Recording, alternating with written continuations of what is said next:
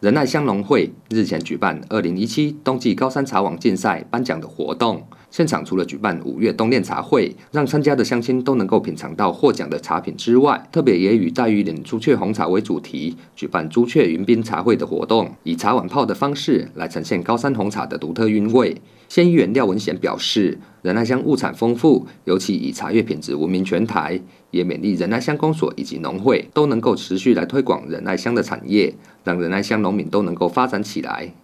我想我们仁爱乡啊，资源非常的丰富哈，啊，无论是啊各种农产品啊，啊，无论是茶叶啊、水果、花卉，还有高冷蔬蔬菜等等啊，各种种类啊。非常的多哈，我们还是请农会啊，啊跟我们公部门大家都能够同心协力哈，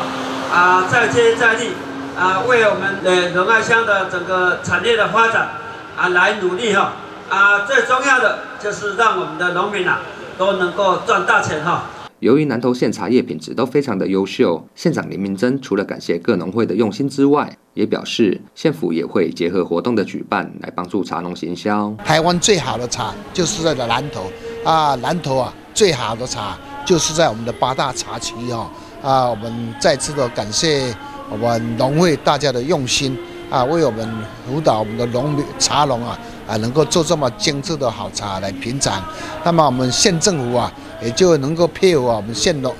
配合我们农会啊，积极来推广我们的茶叶啊。今年的灯会，我们也鼓励茶农啊，能够到我们的灯会会场啊，来继续行销你们的好茶哈啊，给我们全国的老百姓啊来品尝。